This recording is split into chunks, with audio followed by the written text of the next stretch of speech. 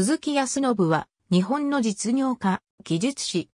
NTN 代表取締役会長兼社長や、日本ベアリング工業会会長、日本部品供給装置工業会会長、日本実業団陸上競技連合副会長などを歴任した。岐阜県生まれ。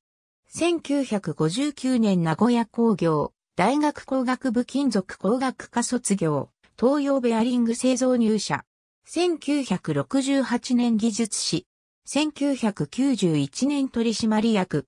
1993年桑名製作所長。1994年常務取締役。1995年岩田製作所長。1997年専務取締役。1999年代表取締役副社長。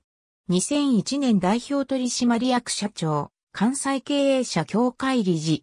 2002年日本経済団体連合会理事。日本機械工業連合会理事。大阪科学技術センター理事。2004年日本ベアリング工業会副会長。平成17年春の報奨で、ランジュ報奨受賞。2007年代表取締役会長。2008年代表取締役会長兼社長。2009年代表取締役会長、中部実業団陸上競技連盟会長、日本実業団陸上競技連合副会長。この間、日本ベアリング工業会会長、日本部品供給装置工業会会長なども歴任した。2010年名古屋工業大学名誉博士。平成22年秋の叙勲で、朝日、重光明受賞。2011年レジオンドヌール勲章シュバリエ受賞。2014年取締役会長。同年相談役。